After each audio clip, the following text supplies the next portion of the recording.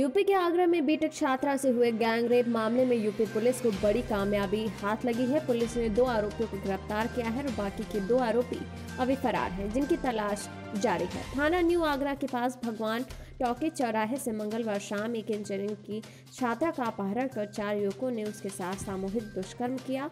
पोया घाट के पास छात्रा लहूलुहान हालत में मिली। लेडी ओलॉयल अस्पताल में मेडिकल के बाद उसे एसएन मेडिकल कॉलेज में भर्ती कराया गया। 12 घंटे में दूसरी बड़ी घटना से पुलिस के हाथ पैर फूल गए हैं।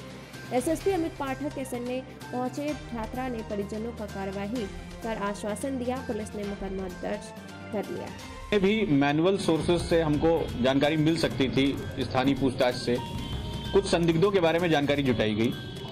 जब वो जानकारी पीड़ित परिवार के साथ शेयर करी गई तो उसमें एक व्यक्ति के ऊपर संदेह ज़्यादा गहराया, उसकी तरफ़ उन्होंने भी इशारा किया कि इसका घटना में शामिल होना हो सकता है। इस आधार पर उस व्यक्ति को आज गिरफ़्तार किया गया।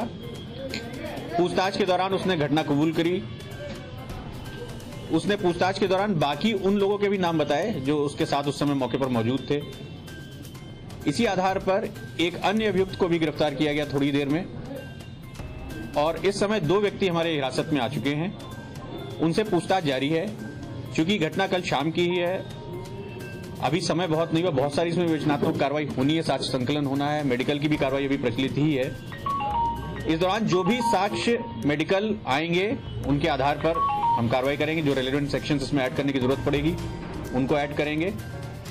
जो चार लोग कल के घटनाक्रम में शामिल थे, उसमें से दो